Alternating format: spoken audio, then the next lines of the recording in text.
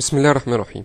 اتكلمنا في الحلقات اللي فاتت عن ال functions وشفنا examples كتيره لل function مرة عملنا ال function نجيب بيها power و function عملنا بيها reverse ل string و function تالتة عملنا بيها reverse ل array في الحلقة دي هنشوف examples أكتر على ال functions طيب نفترض إن أنا عايز أعمل function ال function دي ت print array هتاخد array وتعمل لها printing. كويس. هنعمل public static. ال function دي هسميها print array مثلا. هتاخد parameter array of integers a مثلا. وإيه ال output اللي هي هترجعه؟ ولا حاجة ال function دي مش هترجع لي output هل ينفع function ما ترجعش output آه هتاخد input هتاخد ال array تطبع ال array وخلاص مش هترجع لي أي حاجة. هي مجرد إن هي هتطبع على طول ال array ديت. طيب إزاي أقول له إن هي مش هترجع output بكتب كلمة void. void هنا معناها إن هي مش هترجع حاجة. وأحط القوسين بتوعي. هعمل إيه؟ هلف على ال array و print element element فيها.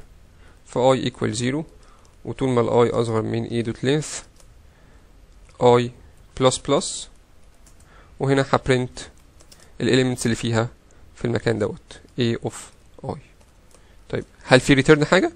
لا مش ه return حاجة. أنا مش محتاج return حاجة. أنا بس هلف على ال array وأعمل لها printing. فدي كده function بتاخد array وما بترجعش output. لما أجي أستخدمها تحت أنا مثلا هنا كنت عامل مثال في الحلقة اللي فاتت كان عندي array عملت لها reverse وحطيت النتيجة في array اسمها b.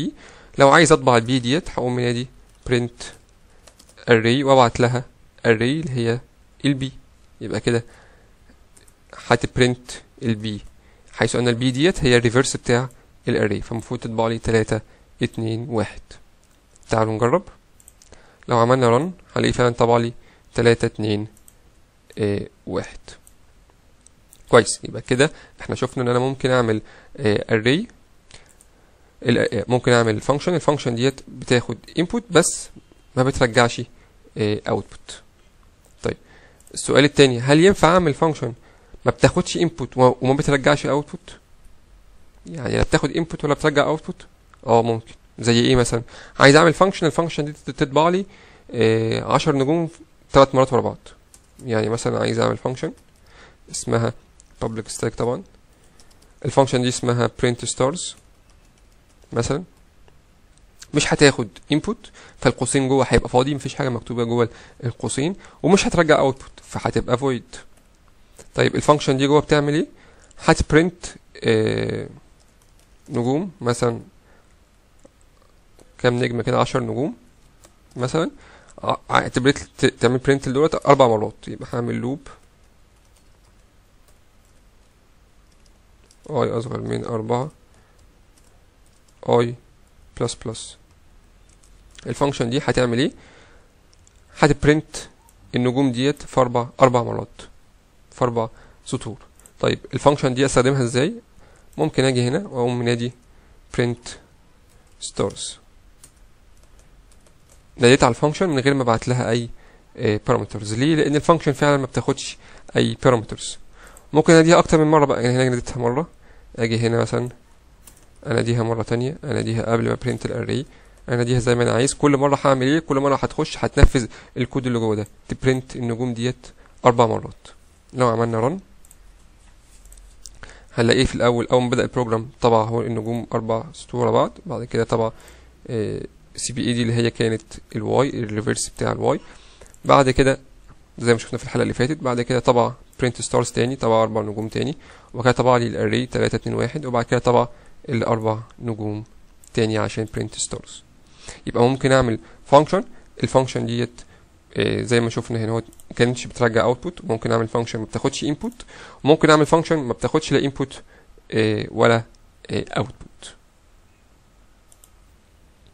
طيب هل في علاقة ما بين ال i دي وال i دي لا طبعا ما فيش أي علاقة ما بينهم. ده scope وده scope ده scope بتاع ال function دي وده scope بتاع ال function آه دي.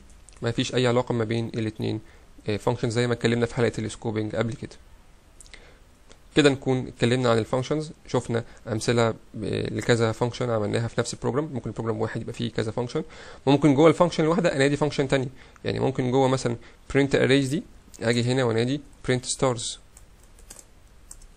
مفيش مشكلة. من جوه ال function انادي function تاني تانية عادي جدا مفيش آه مفيش مشكلة. يعني ممكن ال function نفسها تنادي function تانية.